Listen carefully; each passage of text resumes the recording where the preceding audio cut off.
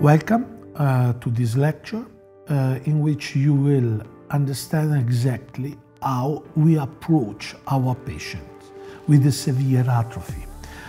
A lot of clinical cases I will show you from the All-on-4 hybrids and All-on-4 hybrid means uh, the use of uh, Zygoma hybrid rehabilitation means the use of intraoral implant and extraoral implants.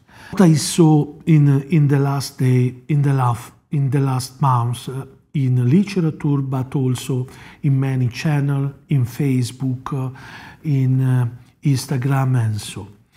Um, um, I saw that uh, implant now, Zygoma surgery and Zygoma implant is so fashion, and uh, mm, a lot of surgeons perform um, Zygoma implant without knowledge. Why I say this? Because uh, I saw a lot of cases treated with uh, four, five, six intraoral implant placed in, anterior, in the anterior region of the maxilla, two or four Zygoma implant posterior region.